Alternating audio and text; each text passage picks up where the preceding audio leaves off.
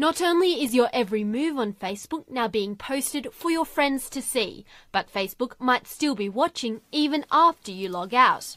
Australian blogger Nik Cubrilovic is causing quite a stir after he revealed on his blog that after you log out of Facebook, your browsing activity is still being tracked.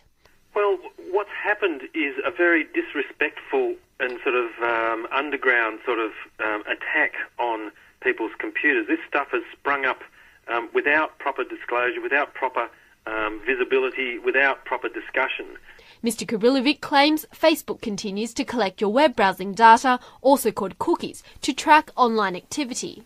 While this is fairly common for all websites, David Vaile from the Cyber Law Centre at the University of New South Wales says Facebook is abusing the way it monitors people. And it's a form of sort of spying and tracking and surveillance of people that most people aren't aware that is occurring.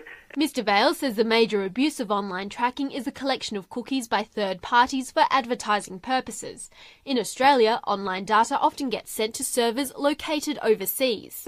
You don't know who's collecting them, you don't know who the information is being passed on to, and so um, the the um, capacity for them to do things adverse to your interests, like trading your information, like trying to put together a sort of psychological profile that would be useful both for advertisers trying to get past your defences and also for um, scam artists and fraudsters to try and trick you. Mr. Cubrilovic's claim comes after Facebook made changes to track users' activities. The new timeline has been met with complaints, and there appears to be little users can do to stop the tracking. Mr. Vaile says the same goes for cookies. There's um, conceivably um, a, a, web server could um, you know, send a cookie back or, or edit the cookie that it's stored on your machine to put whatever it likes in there. And so if they wanted to put your password, they say, we're going to make this really, really helpful. We'll just store your password there for you so you don't even have to log in next time. Facebook and Mr. Cubrilovic could not be reached for comment.